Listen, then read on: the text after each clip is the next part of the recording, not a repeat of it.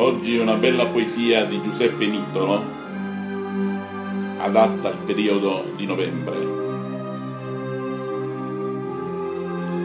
Anche tu potresti un giorno qualunque cadere in ginocchio perdere all'improvviso le cose più care, sentire sulla pelle il brivido dell'angoscia e della solitudine e tremare. Perché allora ti ostini a volare sempre più in alto, con ali di fragile cristallo, costruite dal tuo egoismo e sporche di fango? e di ataviche meschinità.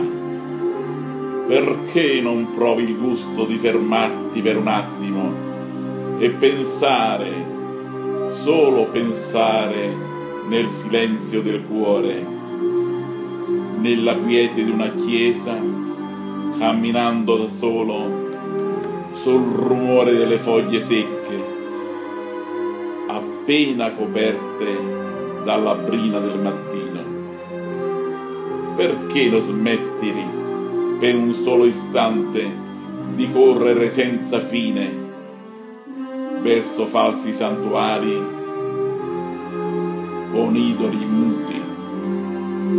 Perché non provi a stendere le tue mani non per colpire, ma per donare? Perché non tenti di liberare la tua mente dai dei deliranti,